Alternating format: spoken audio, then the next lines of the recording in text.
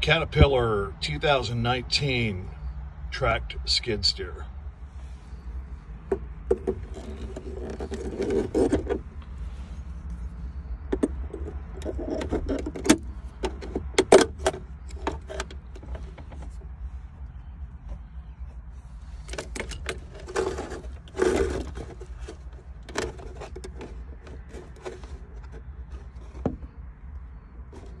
There they are. Those are the three. How do we know? We have done so many of them. We can look inside if you want. See what's in there.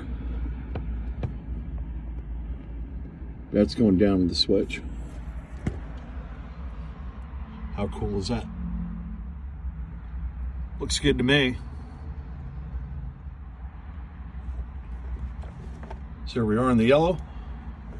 Turn the key. Even though it's below 12, we know once it fires up, it's going to go above 12, probably 13.5. So red is hot, yellow is ignition on most of your Caterpillar small machines. So we'll go ahead and just um, posi tap these in the meantime. And of course, we've got a uh, couple red butt connectors on there because we have to feed the cable through the top up here because our device is going to go behind this mirror on top of this metal shelf that's on top of there. And it'll it's a really good spot for these.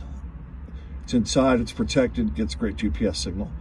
We also need to find a ground in here. And uh, a lot of times you can go right to the cigarette lighter in this case they're using usb so we're going to go probably to that. Um, sometimes you can get away with catching a black wire somewhere on these panels but you have to be careful because might be part of a CAN bus or multiplex system and you don't want to take the vehicle out. Um, we've also got a light up here, so that tells me there's probably a ground on that as well. But we'll take a look here in a minute and see which way we're going to go. Something else that you'll see there's a little bit of dust and dirt and stuff up on there, so we'll go ahead and clean that off.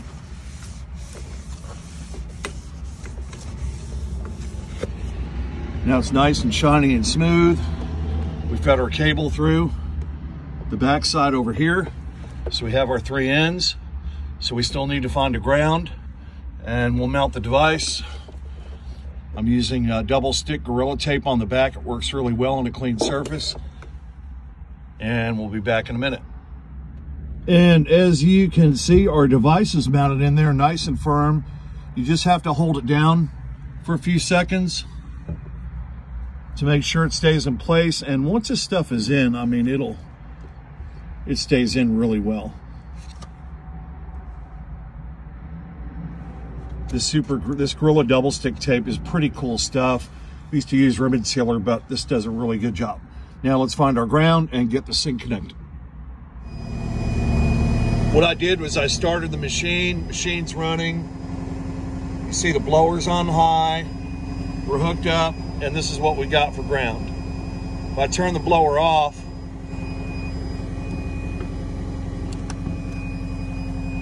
I'm back to zero ohms of resistance. So I've got a good ground. So we're gonna go ahead and use that instead of trying to self-tap and pull stuff apart. Easiest way to go, it makes sense, it won't hurt anything. And again, the machine's running without any problems, so we know our hookup is good. Let's go from there. All right, gang, so as you can see, Fuse is zip tied, taped up. We got all our wiring bundled inside of this. There's no strain on any of our wiring. Our ground is very nice. We checked the resistance on that. It's all bundled up. We'll probably add one more zip tie over one more zip tie over here just to make sure that if anybody yanks on this cable, it doesn't rip out any crucial wiring for the machine. That's going to be it. And that's pretty much our, uh, it's our Caterpillar uh, 259D install. Like I said, Cat has made it really easy. Just remember, red is hot, red is hot, yellow is ignition, and find the ground somewhere. And Cat uses black for most ground connections on their machine. So there you have it. Enjoy. And as always, make sure the machine will start once you're once you're completed uh, with the install. And for these machines, you have to flip the uh, flip these safety levers down flip these safety levers down on both sides and it will actually allow the machine to start as such and there you go. So machine starts, everything's good. We just need to call it in, install complete. Thanks for watching.